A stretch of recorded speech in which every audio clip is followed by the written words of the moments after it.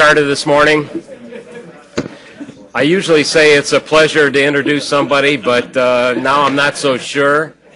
Um, Dr. Van Sickle is an associate professor in the Department of Surgery uh, in general and laparoscopic surgery, uh, and has been on the faculty seven years, six, yeah, something like that. Yeah, it kind of wears on us. And uh, this morning he's going to be talking about uh, the medical and surgical treatment of gastroparesis. Uh, Dr. Van Sickle grew up in Tennessee, uh, went to undergraduate at the University of Tennessee. Yeah, he likes to refer to it as the other UT. Uh, and uh, went to medical school at Memphis at the university. Uh, did his uh, general surgery residency uh, in uh, Atlanta. Uh, then was out in private practice for four years in Carolina, South Carolina, and then saw the light that uh, he thought he would need to go ahead and advance his skills, and so he did a laparoscopic fellowship at Emory with Dan Smith. And after completing that, we were able and quite lucky to go ahead and recruit him to join us here on the faculty uh, this morning. Uh, will you please welcome Dr. Van Sickle?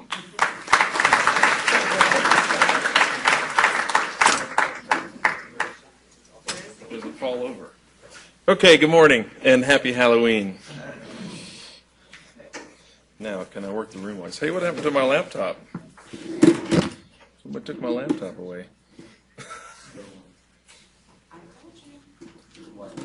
No, I loaded up my laptop. Someone played trick or treat on me? Where did the, uh, where did the laptop go? Seriously, I have my laptop and now it's missing. Where did the IT guy go? Did you disconnect the laptop? All right, well, I have a backup. Always carry backup, right?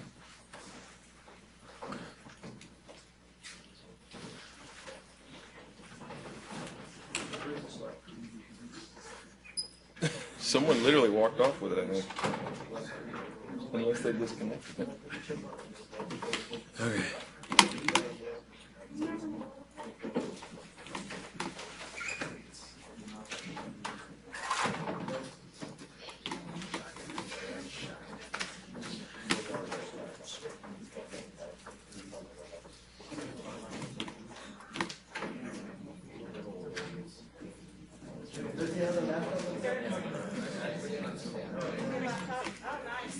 What?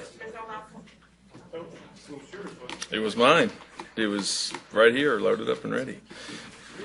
We will fix that after you come. All right, are we loaded?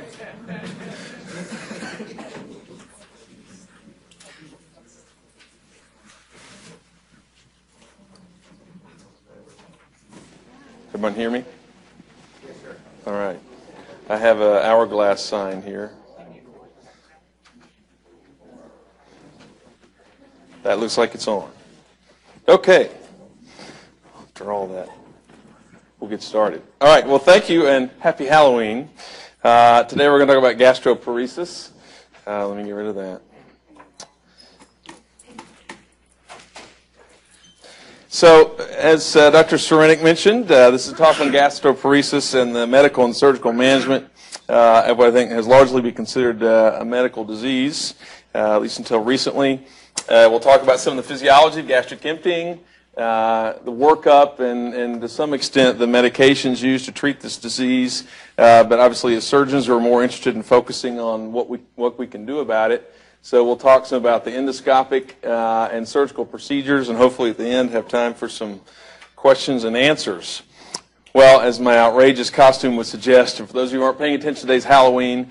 Uh, and I'm not sure if this was deliberately staged by Dr. Stewart to have me give the talk on Halloween, or actually, truthfully, I just volunteered.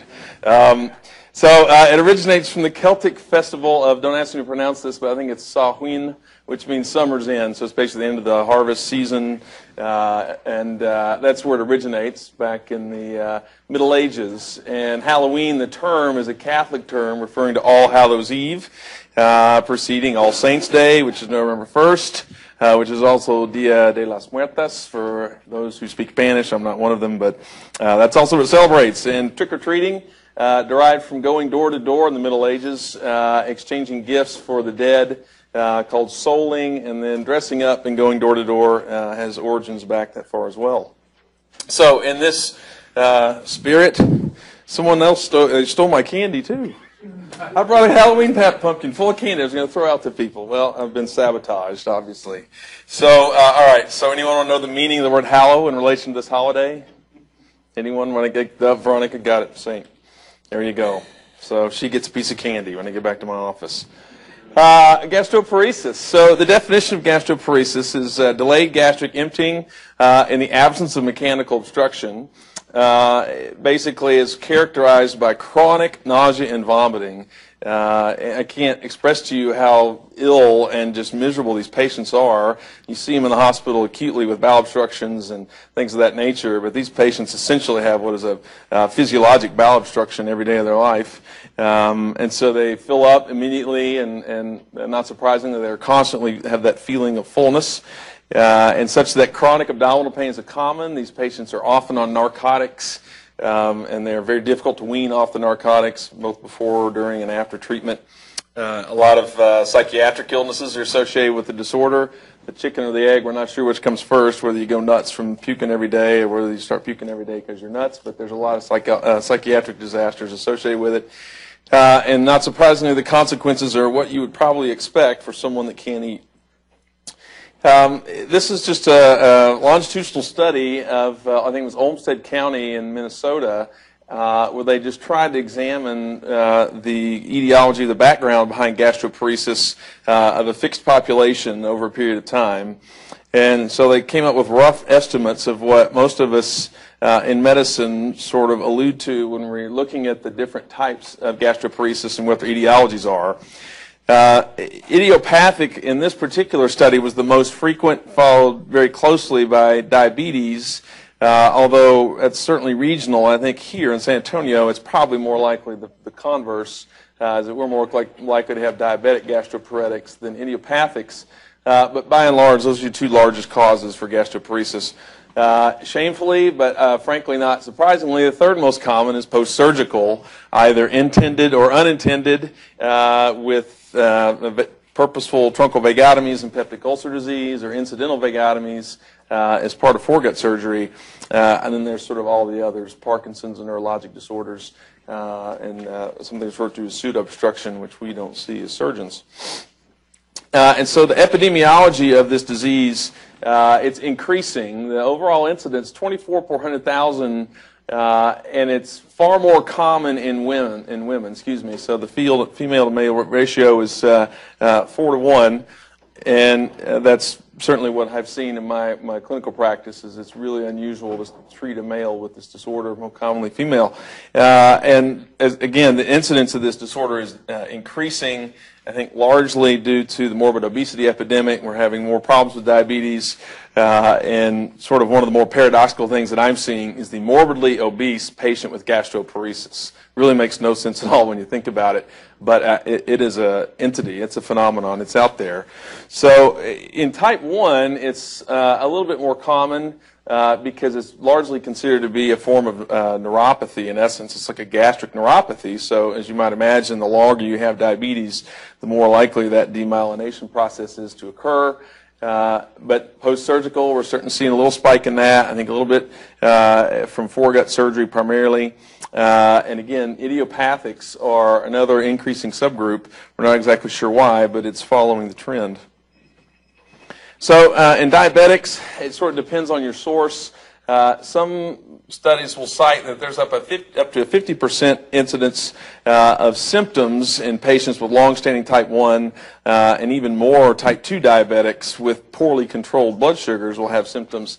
And that's not surprising. Uh, we'll go into briefly some of the physiology of gastric emptying, but most of us know that hyperglycemia is associated with gastric stasis for uh, various mechanisms. So it makes sense that patients with poorly controlled blood sugars are more likely to have emptying problems. It's sort of uh, a vicious cycle. They get hyperglycemic and their stomach goes paretic and they can't empty and their sugars get harder and harder to control. So uh, again, it's typically a late manifestation. Uh, again, sort of a gastric neuropathy. Oh, you found it. Thank you. Uh, next person who gets a question right, you'll get a piece of candy at the end of the show. So it gets a gets a uh, piece of candy. Uh, so the the classic triad or triopathy, retinopathy, nephropathy, and neuropathy. It, it's a it basically considered to be along those lines of a gastric neuropathy, uh, like I had mentioned, uh, and there are other sort of uh, pathophysiologic variables at play um, that can also contribute to the, the reasons diabetics get stuck with this problem. So again, idiopathics, whether you think they're the largest or the second largest subgroup, they're very uh, important in terms of the breakdown. Uh, again, the true cause not known, hence the term idiopathic. Uh, and in some of these patients I've seen, they can get into episodes where they literally go into remission, where their symptoms basically go away for no reason other, or maybe better diet control and some medication effect, but then they're prone to relapse. That's sort of the nature of the disease anyway. Uh, it's sort of these episodic times where they're coming out of the ER five to ten times a month. Uh, but in some of the idiopathics, they can remiss for, for months or even years at a time. Uh, and again, the post-surgical group, uh, after vagotomy, um, obviously it usually requires an emptying procedure, uh, but in association with emptying, there's also a failure of the receptive relaxation part of the fundus uh, that sort of mitigates the volume in the stomach. Uh, and then same thing with post, post-fundos, uh, after using the fundus to wrap around the esophagus to prevent reflux, uh, again, you're altering the ability of that fundus to fully relax in some cases. Uh, and I've seen personally and certainly read plenty of reports about incidental vagus nerve injury during lap paraesophageal hernias and Nissens. So working up a patient with, uh, with gastroparesis, other than the obvious history and physical, uh, it, they usually come to us, uh, sort of surgeons or proceduralists, after most of the medical workup and diagnosis and therapy has occurred. But uh, just for the students and residents of the room, so essentially you have to rule out obstruction, otherwise it's not gastroparesis. You have some other problem, right? So the, the typical common sense workup items for uh, ruling out gastric obstruction, EGD, barium swallow, CT scan. Uh, here on this CT scan, uh, you can see, clearly see full contrast in food, barium swallow with a giant outline of food there. Here's what you typically see, though, on upper endoscopy is bits of retained food in the stomach. And if you think about it, if they truly have gone on an overnight fast, even if you're doing EGD at 8 o'clock in the morning, there shouldn't be anything in there. Uh, the stomach usually empties in most normals, uh, with certainly within one to two hours, but less than 10% is supposed to be present in the stomach at four hours. Uh, we'll talk more about that in a minute. Uh, and again, you correlate those findings with your clinical symptoms. If they have the classic sort of chronic nausea and vomiting, abdominal pain, uh, and all the other ones I described earlier, uh, those are strongly suggestive. But in essence, you really have to have a gastric emptying study to clearly uh, identify the disorder and make your diagnosis. So the gastric emptying scan, uh, or what's sad, I guess, in some cases, is that uh, GES is the abbreviation used for gastric emptying scan. And it's also the abbreviation used for the gastric electrical stimulator, which I'll talk about in a minute. But in any event, uh, the gastric emptying scan is required at this point for diagnosis. It's the gold standard for evaluating and uh, diagnosing someone with uh, gastroparesis. And so what the NucMed gastric emptying scan does is it quantifies emptying of the stomach uh, much more objectively than the subjective type of history that you're going to get from your patient. So uh, here's an example. Here's a snapshot of uh, nuclear medicine uh, technetium-99 scintigraphy. So on the top is a normal subject here where you can see at one hour, or excuse me, at, at, baseline, the, the stomach is full of isotope, and here you start to see it empty and appear into the small intestine, almost completely out of the stomach. And at four hours, there's basically nothing there, almost nothing, and the majority of it's distally in the bowel. But here's a abnormal or typical gastroparetic subject on the bottom, where you can see the radionucleotide basically just sitting in the stomach, uh, and even at the three-hour, 180-minute, three-hour film, there's still plenty of uh, isotope left in the stomach. Again, it's affected by multiple variables. Um, age, uh, gender, BMI, and again, glucose control. So, for example, in our institution, uh, the attempt is to standardize that you are actually doing AccuChecks at baseline, at one hour, at two hour, and three hour, and four hour to see if you can correlate their active blood sugars with their emptying, and that's considered sort of the universal standard. Uh, I was not aware that there was a joint society of the American Neurogastroenterology and Motility. Uh, I'm not sure how much fun they'd be to hang out with, but I'm happy for them that they came up with a universal or standardized gastric emptying uh, table here. Uh, fairly recently in 2007, and University Hospital formally and, and officially adopted this on January 1st of this year, 2011. So uh, basically what's nice is that, that all the patients that are being worked up for gastroparesis now at university at least are getting this four-hour study, and obviously you would assume that the more data the better, uh, but it certainly is a more robust nuke med study than some of the, the one or even two-hour studies. So here are the lower limits of normal, here are the upper limits or upper limits of normals. In other words, uh, the most you should ever have in your stomach after an hour is 90%. Anything above that is going to be considered abnormal. If you're anything above 60% at two hours, above 30% at three, and above 10% at four, you're going to be considered abnormal and carry with you the diagnosis of gastroparesis. So uh, again, Accu-Checks every hour to correlate blood sugar levels, particularly in diabetics, with their rate of emptying. Oh, here we go. What do you suffer from if you have an intense fear of Halloween? Is it halophobia, ghost phobia, Samhain phobia, party city phobia, or Cyrenaic phobia? phobia. we'll give you we'll give you a, a sucker for that since it's technically true. I don't even know how to pronounce it, but that's the that's the phobia. Uh, all right, gastroparesis, medical management. Uh, so there's several different types of drugs or classes: prokinetics, antiemetics, and then uh, motility agents or agonists. In the prokinetic group, Reglan is basically the only one that's still left and still available in the U.S. Uh, it has a horrible side effect profile. Uh, a lot of our patients that come to us are already on Reglan. Most of the time, it doesn't even work for them. Uh, in a lot of cases, it's just ineffective. Uh, they can get uh, uh, pyramidal side effects, tardive dyskinesia, clonus, uh, spasms, all kind of extrapyramidal symptoms, all kinds of problems. Cisapride uh, was very, actually very effective at improving uh, gastric emptying. It was even shown to objectively improve emptying. Unfortunately, it had some fairly nasty side effects, particularly uh, cardiac arrhythmias and valvular abnormalities, uh, and the FDA pulled it from the market, so you can't get it in the U.S. Um, antiemetics uh, are expensive and highly addictive. Almost all the patients come in on some type of anti-nausea medication. Uh, I've seen patients on, you know, literally four to eight milligrams of Zofran every six hours. I mean, these patients are topped out on their antiemetics. Uh, domperidone is useful, uh, but if you take too much of it, you'll increase prolactin levels in the body, uh, particularly in men. That can be a problem. Uh, and medicinal marijuana, only in California apparently. Uh, and the motilin agonists, some patients have tried erythromycin at a lower uh, oral dose and had some response. Unfortunately, it's, the IV route's more effective, but obviously that's not particularly practical as an outpatient. So uh, if I had to summarize gastroparesis medically, uh, it's expensive. There are side effects and safety concerns associated with the meds. They're really aimed just at controlling symptoms, not the disease itself, and they're largely ineffective. So boo, thumbs down. All right, so intrapyloric botulinum toxin A, or Botox injection, uh, I guess they got really bored out in uh, Hollywood and figured, where else can we use this drug? But uh, the medical thought behind it was that pylorospasm is, is felt to be at least potentially a causative agent in some of the patients with gastroparesis. Uh, for those patients who were unfortunate enough to have undergone anteroduodenal manometry, there has been shown to be an increase in some, the tone of the pyloric muscle and an increase in the phasic contractions of the antropyloric channel. And that was thought to be a potential causative agent behind the relative obstruction or lack of emptying in, the, in that region.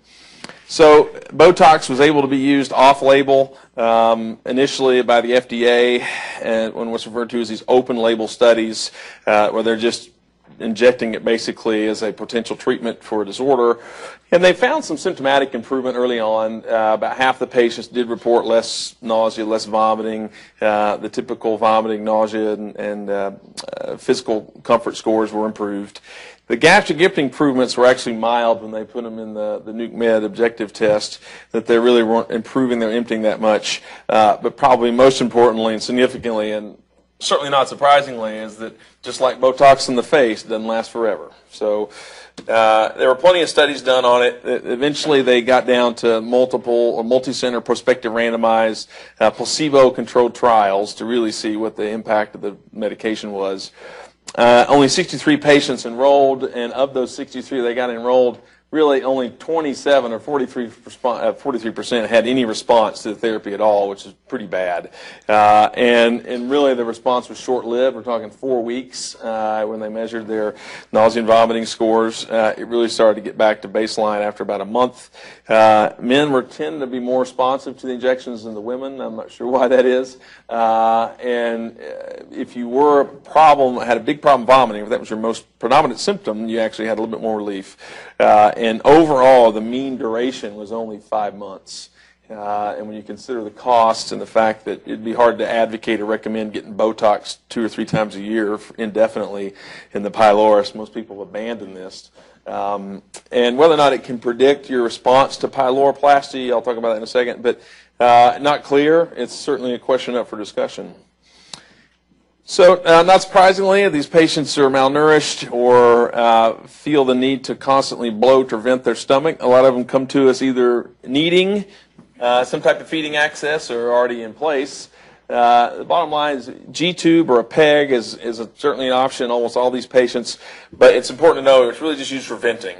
It's intended to help reduce the volume of their emesis, uh, as sad as that is.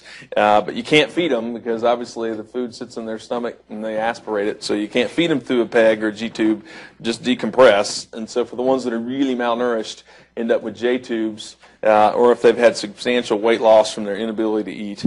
Uh, I have had to put a few J-tubes in patients, but fortunately it's a little bit uh, less common. Uh, and again, we're just putting a band-aid on the problem. We're not actually addressing the issue. And as everyone knows, tubes are always associated with problems, leaks, cost of tube feeds, and so on and so forth. So, so I mentioned this antroduodenal manometry. I just put this slide up uh, because I deal with some motility studies, uh, foregut surgery when we're talking about doing any reflux procedures and, and paraesophageal hernia. But frankly, prior to putting this talk together, I had not heard much about antroduodenal manometry. Uh, and the reason is this. Uh, basically, you can see how sort of complex the catheter is. It's got multiple ports coming off the end of this thing. Uh, and the GI colleagues, when they describe how this is done, we don't do it here. Um, when the GI colleagues describe how it's done, basically, th this catheter only measures changes in pressure across a column of water. So you have to fill up their entire GI tract, basically from ligodermal all the way up at least to the middle of their stomach. And, and then you have to submerge this catheter. You have to fish it past the pylorus. And literally they're flopping the patient left and right and having them retch and hold their breath and all this stuff. Uh, and it says it's basically just pure torture to have a patient do this. Uh, the readings aren't that accurate anyway. So it's largely been abandoned. So unfortunately, what might sort of give us some idea is if there's a problem more distally in the antrum or pylorus, uh, the test for that is not worth the effort. Oh, here we go. Another Halloween trivia question. The ancient Celts believed the evil spirits were roving the countryside on Halloween night. Uh, they did this to, to protect themselves. What did they do? Bob for apples, wear masks and costumes, go door to door giving neighborhood treats. They burned candy and fruit. They just drink boatloads of whiskey until they pass out. B, masks and costumes, right?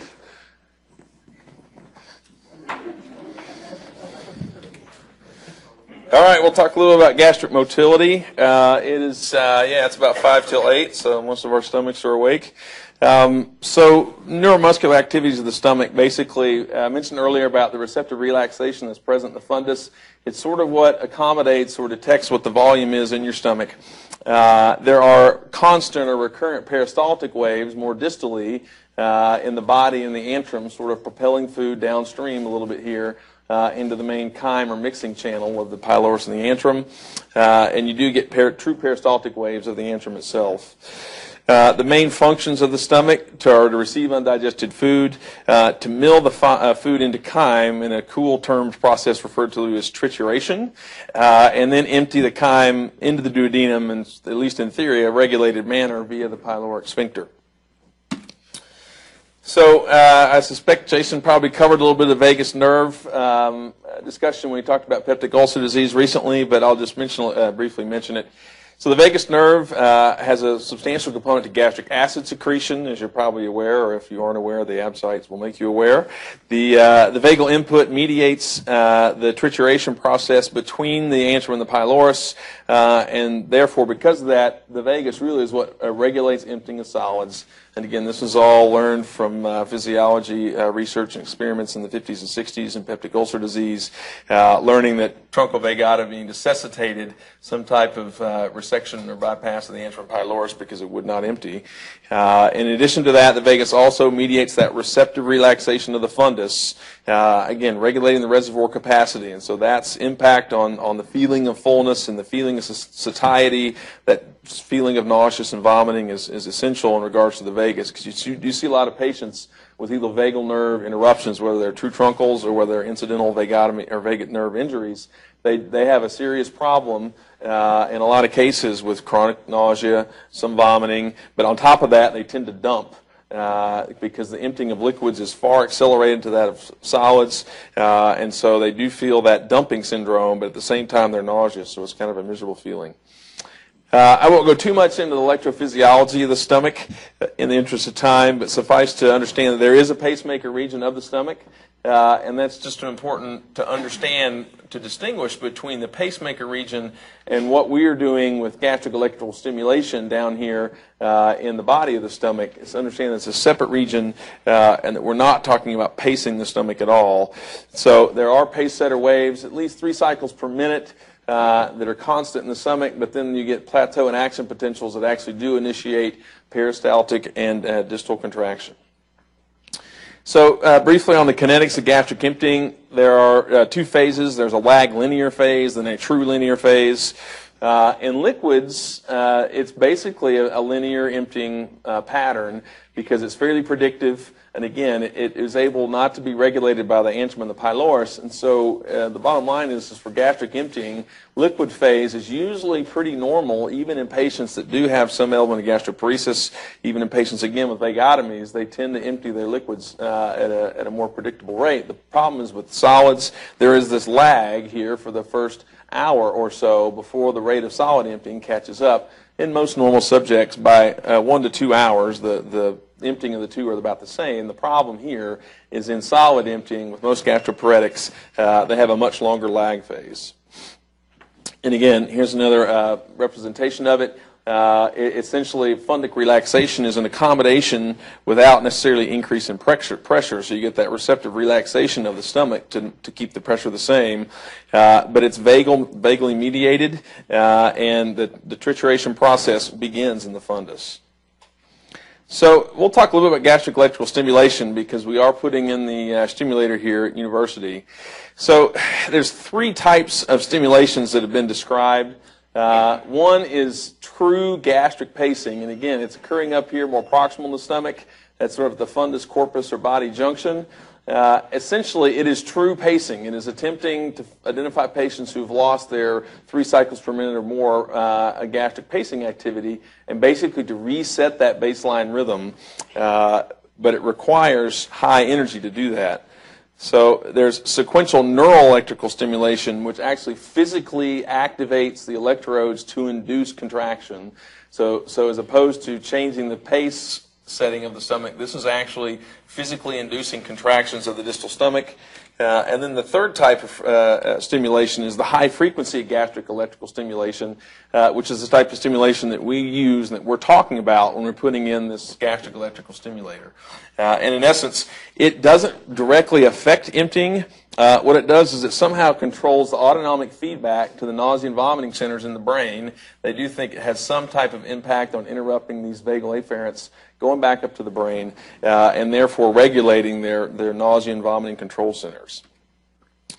So when we're talking about gastric electrical stimulation, we're talking about high frequency gastric electrical stimulation. Uh, the name of the product that's out there on the market that provides this is referred to as the Enterra therapy system uh, from Medtronic.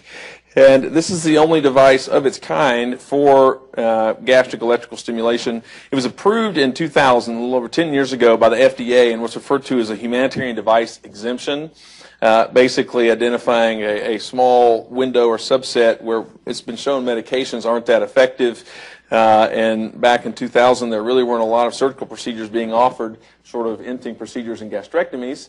Uh, and so there appeared to be an opportunity to create some sort of less invasive uh, in this case, neuromodulation or stimulation to uh, impact the disease. So it did get exemption in 2000 for that. It falls under the class or category of an implantable neurostimulator uh, or an INS. Uh, and that's how it's billed or coded CPT-wise for Medicare and other, reinsur- uh, uh, other insurance companies' reimbursement.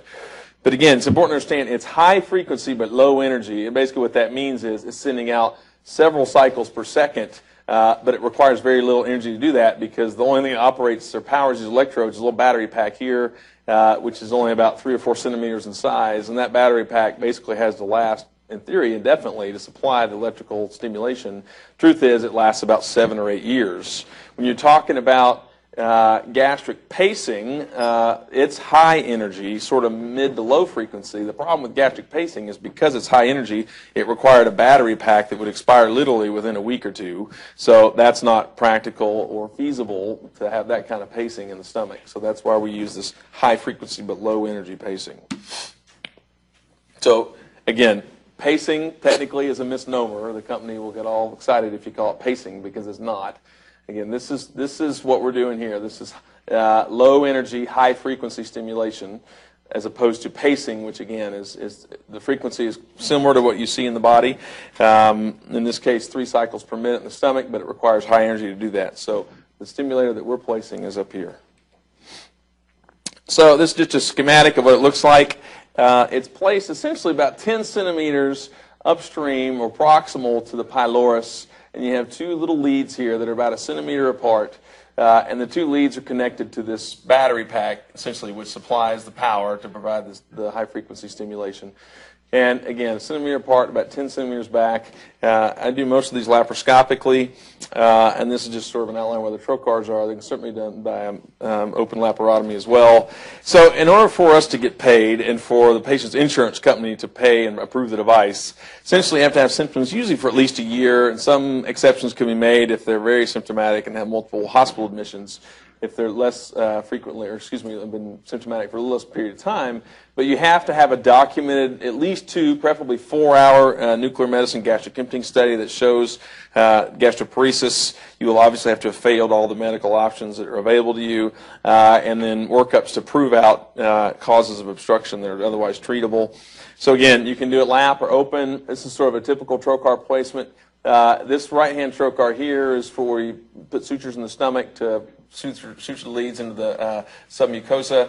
And this particular incision is slightly elongated, maybe a little bit median laterally to accommodate the subcutaneous pocket uh, for the INS. It's really only about a two or three centimeter incision uh, to stuff the pocket in. It's connected to the leads and then closed.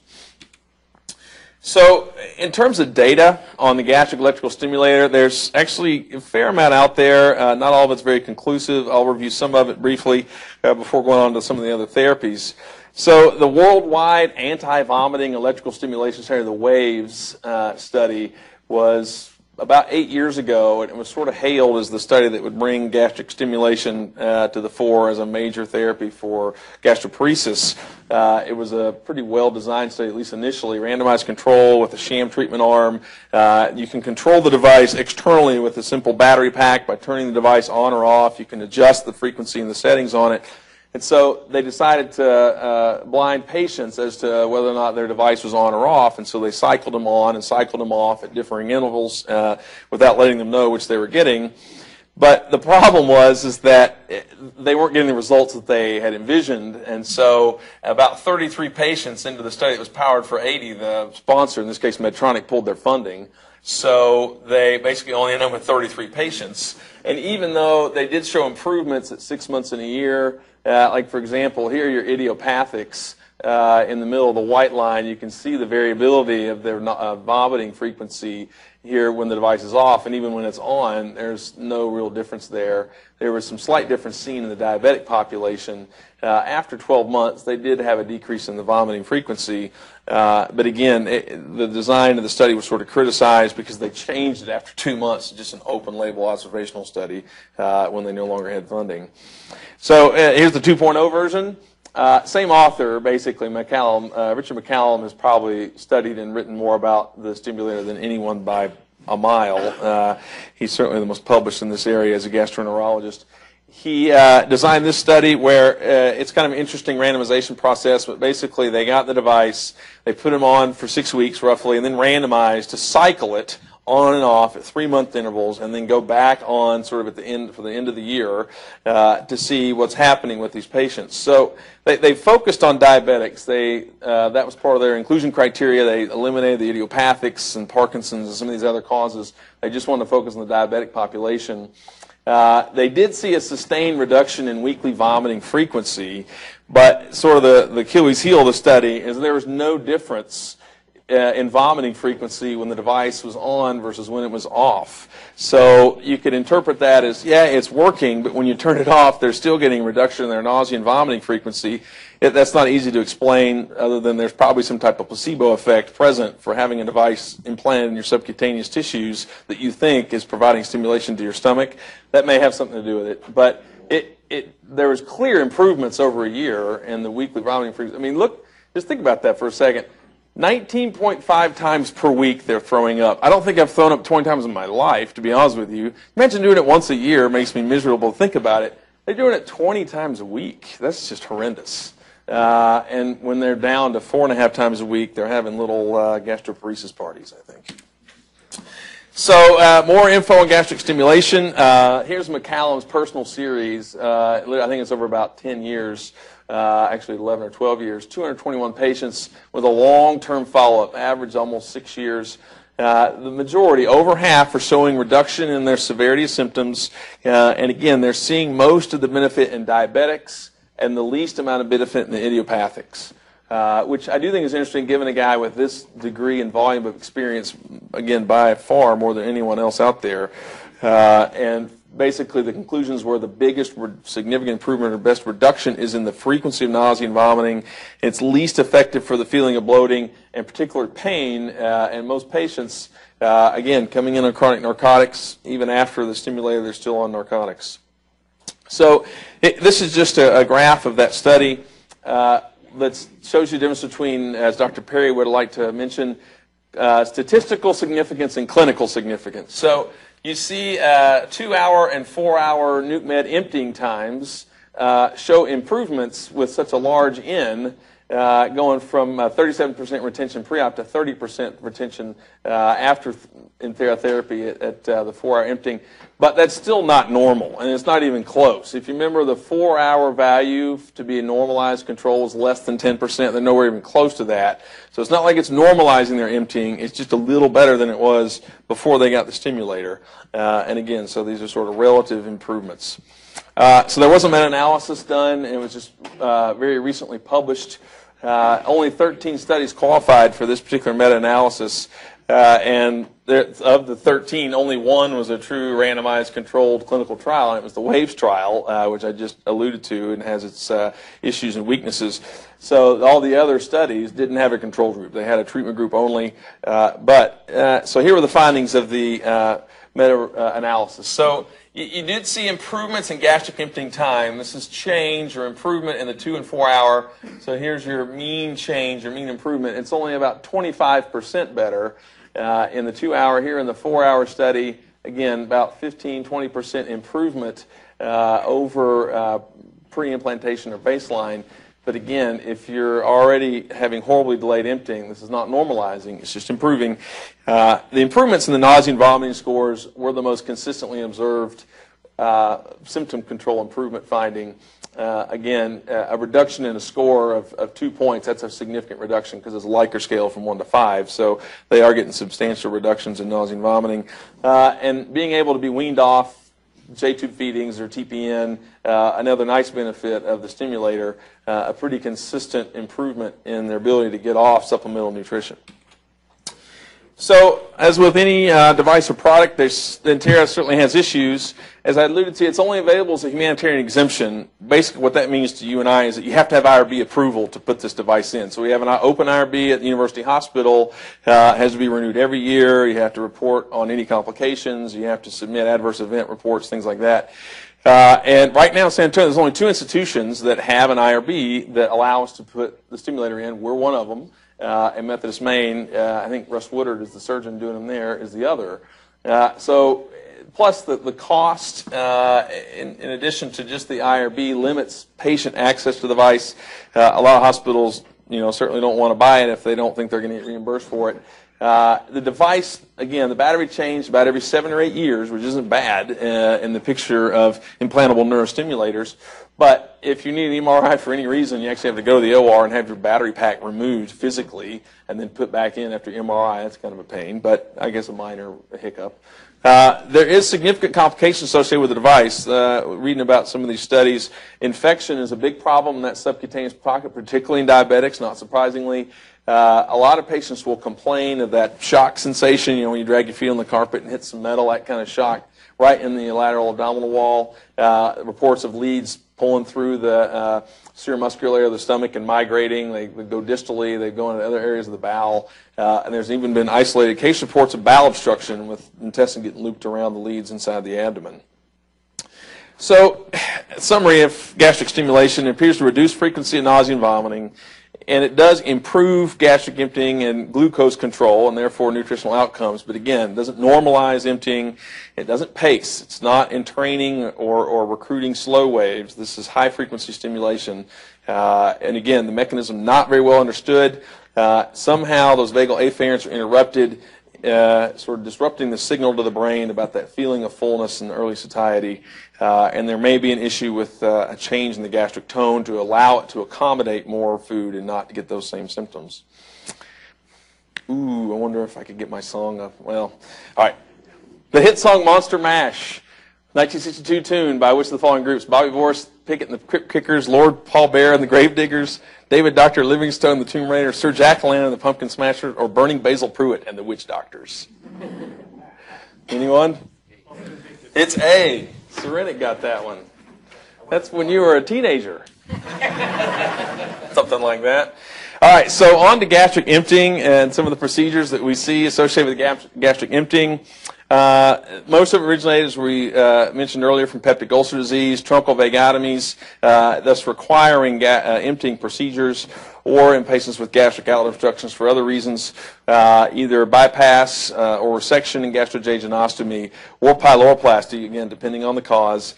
but using gastric emptying procedures as primary therapy for gastroparesis, or for a true emptying disorder, there really is not much out there. Uh, again, most of the publications and textbooks are all about peptic ulcer disease and obstruction and things of that nature, but for actual motility disorders of the stomach, uh, limited data. So pyloroplasty, uh, there's three types that we're, we're taught and have seen, basically the Heineke Mikulicz, Jaboulay, and Finney. So the Heineke Mikulicz is probably the most common one. Uh, it's the one most common I've seen and done. Uh, it's making an incision uh, across the pylorus, usually about two centimeters proximal and two centimeters distal onto the duodenum, and then closing it in this direction to completely open up uh, the muscular channel uh, between the stomach and the duodenum. Uh, it's probably the technically easiest to perform. A Jaboulay is a gastroduodenostomy where you make the incision along the distal stomach and the duodenum and just bring them together as a true gastroduodenostomy. And the Finney uh, basically is where you make the incision across the whole pylorus and duodenum and make a complex anastomosis. As uh, one of my attendings used to say, finish the cut was uh, what the Finney was. So those are the three types of pyloroplasties technically. Uh, they're done laparoscopically in a lot of cases now. Uh, most of the publications on pyloroplasty, whether it's lap or open, again, with, associated with other procedures, peptic ulcer disease, uh, now the esophagectomies that are being done, most uh, surgeons are doing pyloroplasties as part of their gastric conduit uh, to improve emptying in patients with esophagectomy. Uh, it's been well publicized in the pediatric anti-reflux patient population how common it is to need a gastric emptying procedure with Nissens. In adults, maybe not as much unless they have really severe emptying. Uh, laparoscopically, we do the Heineke Mikulicz because it's the easiest to perform technically. Uh, use a harmonic scalpel to go across the, the stomach and duodenum. Uh, and as long as you are good at intracorporeal suturing and knot tying, this technically is not a difficult procedure. Uh, and now it's being used as a primary therapy for gastroparesis.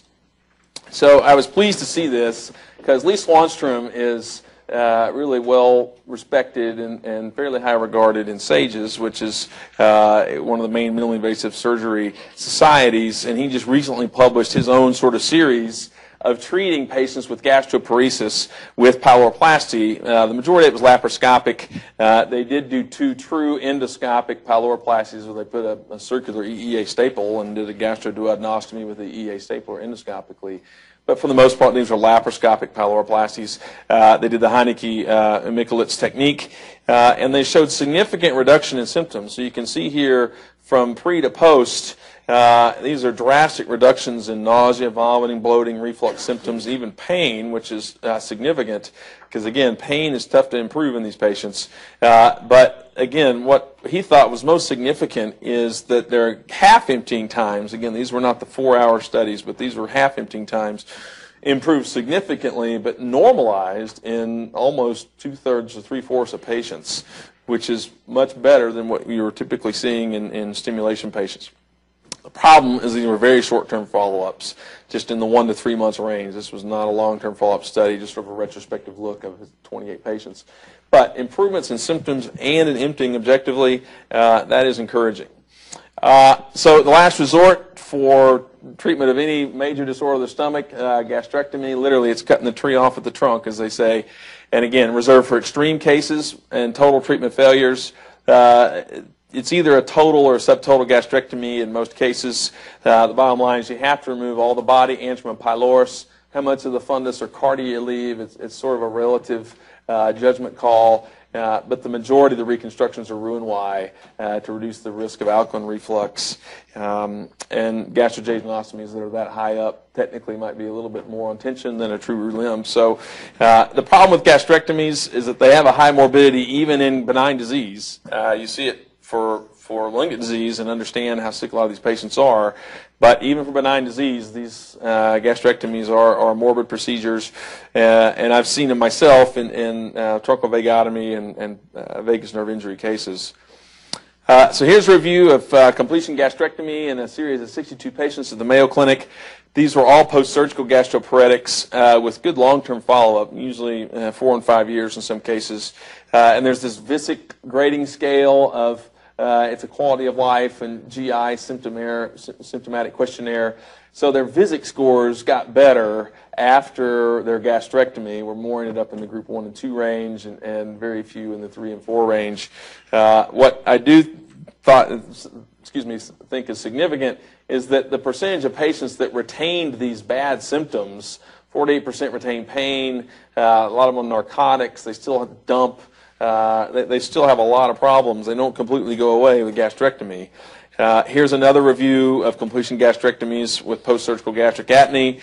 And same findings is that there are drastic improvements in all these sort of subjective uh, questionnaire type symptoms, but overall, these are a percent that are retaining those symptoms still. So again, the diarrhea, postprandial fullness, early satiety, they still have it, um, but it's better in some cases. Uh, so I wish I were like Bones McCoy, uh, treating these gastroparetics with my magic little uh, device here, but uh, actually I'm not, and my Halloween costume suggests this is what I really feel like. Uh, so just in the last year and 10 months or whatever it's been, I've just sort of started keeping track of the gastroparetics that I've treated. The majority of mine happen to be diabetics. Um, those numbers don't add up. I think there's uh, four idiopathics, but uh, five underwent the stimulator device, and two basically got no improvement whatsoever. They were in the ER just as frequently. They were in the clinic puking, uh, readmitted. Uh, essentially no improvement. They were both diabetic patients, uh, but there were three that have had some significant response to the stimulator. Uh, I've done a couple pyloroplasties, usually with a decompressing peg, and I did have one patient who's a diabetic who basically got very re- little relief, maybe uh, reduced the frequency of ER visits from once a week to once a month, but he's still symptomatic and, and miserable, and he's getting a stimulator uh, later on the month, I think. Uh, and then I've done a couple gastrectomies. Uh, one uh, young lady with a failed stimulator device and a patient with vagotomy from 30, 40 years ago she's no more happy than she is now uh, than she was before surgery. Uh, and I just say these patients are all sort of equally miserable. So, uh, what is this thing? What is it? Is it a Sirenic, a Suez? Is it a sickle, which is what I thought it was? It's a scythe. That's the real thing, too. Uh, all right, so overall, it remains a medical disease, uh, and multiple surgical options are available between stimulation, uh, some type of emptying procedure, feeding access, or even gastrectomy.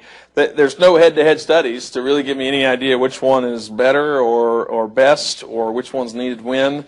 And there's no sort of defined treatment algorithm. These patients just sort of get sent to us, uh, and they're sitting in, sitting in your office chair uh, with the with the dog eyes looking at you, looking for help. Uh, and I'm not sure what the right thing to do for them is. Um, do the idiopathics maybe they better off getting pyloroplasty first, uh, with or without a peg tube or a feeding tube, and if that fails, they get stimulation. They get diabetics need a shot at stimulation first, and then pyloroplasty. The, the good news about pyloroplasty and stimulation is they aren't burning any bridges. Now that, on the other hand, that's taking like some C4 and blowing the bridge to kingdom come. So if you do a pyloroplasty on a patient, you can still implant a stimulator in them and vice versa. So uh, again, I, I think this is a it's an unknown. It, you know, might be an opportunity for some uh, clinical exploration. My personal bias is I think I or we are uniquely situated um, in this particular uh, clinical problem because we have a large group of patients, the Texas Diabetes Institute, uh, the obesity epidemic. It's not going away. It's only getting worse. Uh, our nuclear medicine department uh, is mature. Dr. Phillips, Bill Phillips, uh, basically his area of interest is gastric emptying disorders. Uh, and so we have the standardized four-hour study with Accuchecks. Again, we're only two hospitals in the city that, that implant the device stimulator, uh, and now all the surgical options can be done uh, minimally invasive laparoscopy uh, or even endoscopically. Um, so, as the title of my talk suggested, I refer to gastroparesis as a frightful and spooktacular disease. Uh, how miserable these patients are, vomiting 20 times a week. Are you kidding me? That's just horrible. Uh, it's only getting more common. It's, there's no cure for the disease. Uh, most of the medical and, and pharmaceutical options fail or are poor options. Uh, we've had multiple whiffs at the plate uh, with some of these therapies, uh, and and even if you take out their whole stomach, that isn't getting rid of their symptoms in a lot of cases. In a lot of cases, uh, so in that regard, the the magic potion is still out there.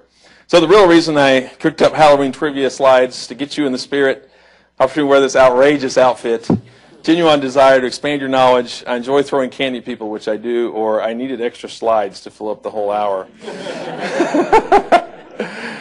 uh, so I, I, saw this, and I want to refer that as acute gastroparesis. I would hope that none of you guys come down with that. And then this is my favorite right there. That's that's quality right there.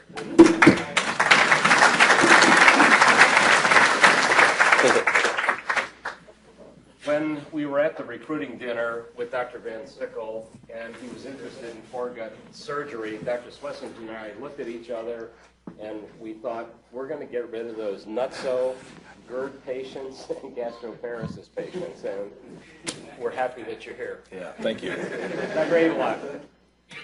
That was a great talk. Uh, with laparoscopic Roux-en-Y bypass, the make them skinny surgery, with that being so common, how come that's not an option? It is. Uh, so the, the dilemma is what to do with the remnant. Okay, so if you have a patient that is really gastroparetic and they have a really prolonged four-hour emptying time where 60, 70, 80, 90% is still retained at four hours, if you do a bypass, you will definitely bypass the problem. The food will go down.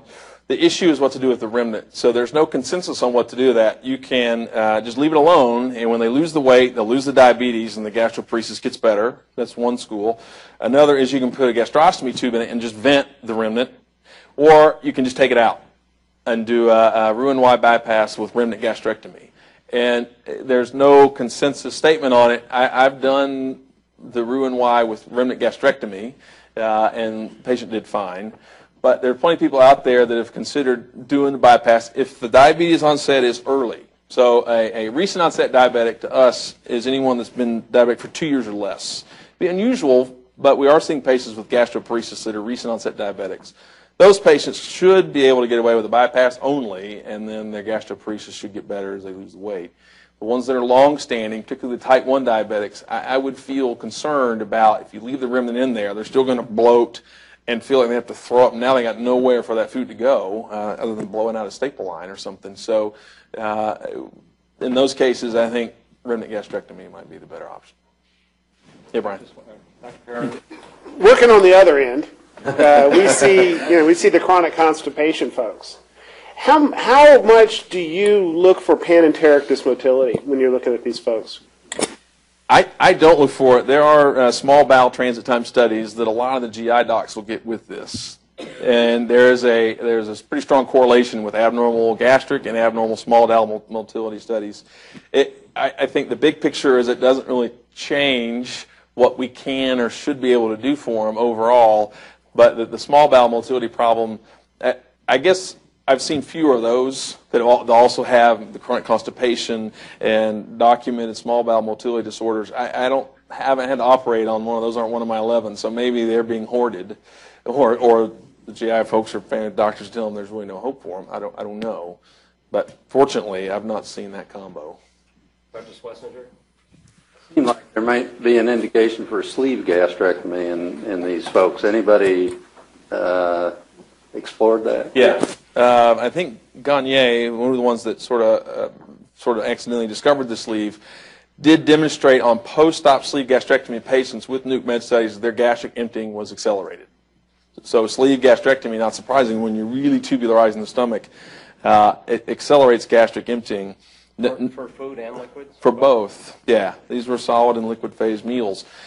Uh, I, I think people probably are just a little maybe afraid to do that. I, that's actually a question uh, uh, Fenton and Rich Peterson and I had discussed very recently as to doing a sleeve gastrectomy for like the morbidly obese patient with gastroparesis. It's not been published, uh, so you don't know if you if you ought to be trying that. I think it's reasonable. Uh, I think you also run the risk, though, uh, of, of getting a problem where if it doesn't work, then you're creating bigger problem where they're vomiting through a, a small sleeve, and so they're going to get a higher projectile vomiting. Uh, if you trim too close to the antrum, they may not empty at all. You may make it worse. So it's certainly a thought. I haven't seen it. Historically, the surgical treatment for this was kind of like the FemPop, you know, where you just progress to an amputation. And so the first was a pyloroplasty, then uh, hemigastrectomy, then a, just a little bit of a gastric remnant, just because people didn't want a suture to the esophagus, and then eventually the total gastrectomy. Uh, there were very few patients where we had to take them to the total gastrectomy, but, you know, the, the recalcitrant patients like you see. Yeah. Historically, when we had diabetics with peptic ulcer disease, what we tried to do uh, was to do a pyloroplasty and a highly selective vagotomy and leave the nerve of Latarjet intact, hoping that that was going to take care of it. Um, one- I disagree with one thing you said about uh, erythromycin. Um, Carey Page and Rich Andrassy were the gurus of feeding catheter J. jejunostomies. In the heyday of gastric surgery, we usually put in a feeding catheter J. jejunostomy. And we found that the liquid erythromycin through the feeding catheter actually worked, as well as giving it intravenously. And so there were people that we could get out of the hospital with that. Uh, it was kind of disappointing. Uh, the Japanese were supposed to come up with a synthetic uh, erythromycin that was not a gastric irritant, uh, but it never uh, it never matured. And I thought there was supposed to be one drug that was supposed to be out there to, to replace cisapride. Cisapride. What is it? MOSA, Mosapride. But it's got the same cardiac problem. And what is it? Instant uh, death, arrhythmia? Torsan, yeah. Or, When, when mixed with other things, with other medications in particular, it, it, uh, it precipitates torsades, which can be a fatal dysrhythmia. Not good. Gastric emptying and being alive, much better. Any other questions? Thank you, Dr. Van Sickle.